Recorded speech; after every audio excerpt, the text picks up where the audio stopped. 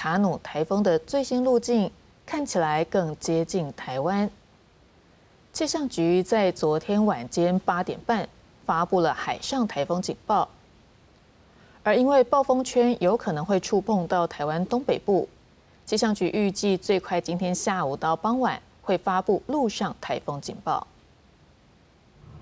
大台北受到台风外围云系逐渐接近，时晴时雨。卡努台风目前持续发展，因为处在季风环流，又受高压牵制，路径变数多。最新路径又更靠近台湾，气象局在周二晚间发布海上台风警报。如果说台风的预报路径再偏西一点，那台风的半径、暴风半径如果有扩大的现象的话，其实是有可能接触到我们的陆地的。但是就是说这个部分可能不确定性比较大。那确切的时间点，我们可能还要再观察。周三起，台风为环流影响，基隆北海岸和北部地区短暂阵雨。周四到周五，北部地区和中南部山区有局部大雨，被封面的东南部可能有焚风发生。第六号台风卡努来势汹汹，而今年第五号台风杜苏芮，尽管在七月二十八日登陆中国之后，已经减弱为热带性低气压，但水汽仍为沿海到内陆带来强降雨。北京更是遭逢今年以来最大暴雨。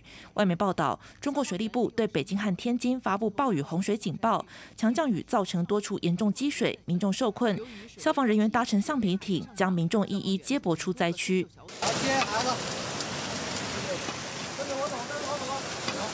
当地民众拍下的影片显示，暴雨造成多处路段桥塌，也有车辆泡水，甚至被冲走。